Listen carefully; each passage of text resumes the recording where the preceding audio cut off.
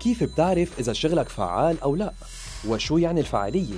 شغلك أكيد بكلفك مصاريف كتيرة تتكبدها بمراحل تطوير المنتج وعرضه للبيع من مصاريف شرية المواد الخام والتجهيزات لمصاريف اليد العاملة والأجار وصولا لمصاريف التسويق والتوزيع وكلفة الضرائب وهالأكلاف كلها تدفعها قبل ما تكون بعت منتجك وحققت أي أرباح وبكتير من الأوقات العائدات على المبيع ما بتكون كافية لتعوض لك عن هالأكلاف وتوفر لك دخل إضافي. وهون بدل ما تربح بتكون عم تخسر.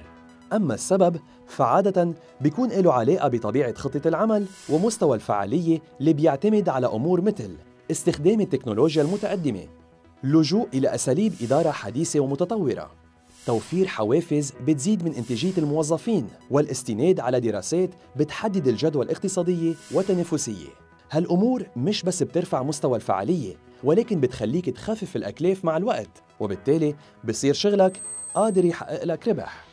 شغلك مهم أكيد بس الفعالية فيه بذات الأهمية إذا مش أكتر.